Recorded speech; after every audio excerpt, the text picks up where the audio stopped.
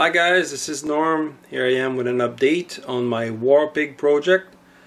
Uh, for those of you that don't know, it's a M1078 2.5 ton cargo truck which has been converted into a long-range desert patrol vehicle. Uh, in real life, the vehicle is based on the M1081 air-droppable uh, chassis. Very similar to an M1078 so that's why uh, ProArt Models decided to use that chassis in order to uh, accomplish this conversion. Okay, so just letting you know. Last thing I've been sharing on Google Plus about this project is my usage usage of uh, Shinsengumi decals on my rucksacks. I've used the digital cam desert camouflage decals. Uh, they responded well to hot water, Mr. Setter uh, from Mr. Hobby, and also uh, pressing down with a, a, paper towel and it worked really well. Uh, they also I added Mr. Softer which is a, a, a, softener. It melted the decals onto the surface and uh, really really nice. Uh, I really like what I uh, got out of the project. Um, they're not going to get the treatment, not all of them. I kept some in just beige or sand color and just to be just to vary the, the, the sauce you know like just to change it a little bit. Uh, next uh, I ordered fishing lure lead wire which is used in the manufacturing of lures or uh, even maybe uh, fly fishing. I'm not sure but very very fine stuff uh, 0.010 and also all the way to 0.03 so there's a big range. I think I got six spools of various gauges of lead wire which I'll be able to use on the radio suite in the front of the vehicle. I have like four or five radios in there, various control interfaces, speakers, computers, uh, computer screens, keyboards. Some of them have uh, coil wires, uh, some of them have just straight normal wires, antenna wires, you name it, SATCOM, GPS, a lot of stuff to wire and um, I could not do it with copper wire. It was just too stiff, uh, very, very, very tough to do. So went online, started reading more about what people use for aircraft hydraulic lines and stuff like that. And uh, people swore by it. They say go there and buy it. So when I get it and I experience how good it is, I'll share it uh, with you guys. Next, I want to talk about is some of the decals I've used on on it. On the screen, you see the movie going around a couple times. The um, the decals for the jerry cans are from Echelon, which I talked about in my other video.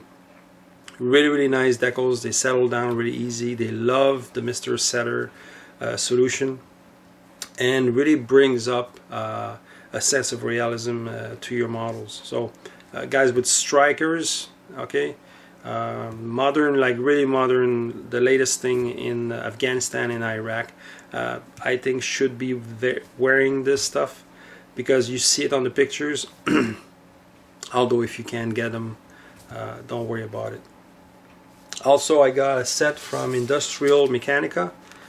These guys are a bunch of uh, modelers that gang together in order to offer uh, really, really odd um, genre of sci-fi and other uh, alike uh, models made of resin. They produce the models, I think, digitally, like in a computer environment, where they send the files later to be 3D printed, mold made, and then produced um, in short batches. They're not cheap models, but they also offer um, stuff like decals and, and, stuff like that, which is and photo etch. So go check their uh, website, their uh, Industria Mechanika, and if you're interested in this site, this kit I got from them is this one. There are a bunch of um, various decals, which they say it's uh, good for 135th scale and 120th scale, 125th scale. I think it's for the the later the the bigger scale like 120th and 125th would be good for trucks and um, things like uh, Maschinen Krieger uh, machines. They'll love this. I use only uh, first aid kits and some warning signs of some sort for mine, but I just wanted to bring up the uh, the company. Uh, I think his name is Fish and Fu.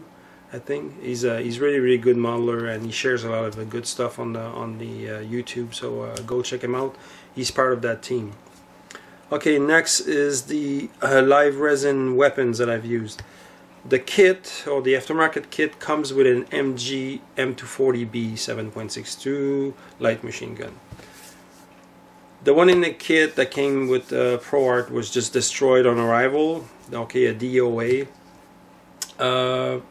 I carved out the gun and kept the brace and then switched the gun for a live resin uh, M240B of course.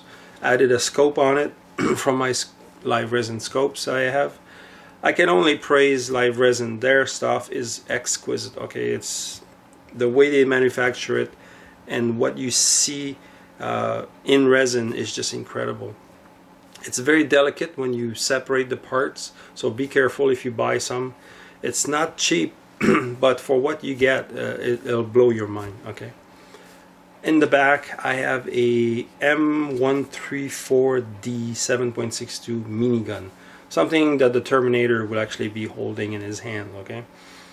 Uh, added to that, two 3,000 round magazines in the back with a power supply and motors to help feed the gun. Uh, on top of it is a uh, first round on target sights which enables you to see your uh, where you're aiming and where you're hitting and basically helps you uh, compensate. Really, really top of the line uh, sighting system. On it there's a first aid kit, emergency trauma kit in big bright orange. Okay, no hiding what it is, don't have to search for it, it's in your face.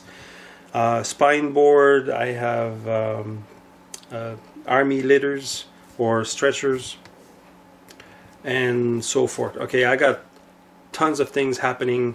You will see cargo straps that are not finished, of course. These can be moved. That's why they're just there. Uh, I'm just looking at is it the proper way? Is it holding the stuff down? So I, I want it to look as realistic as possible. Once I'm happy with one, I uh, lift it up, I paint it, and then I lay it back down and I add the ratchet after.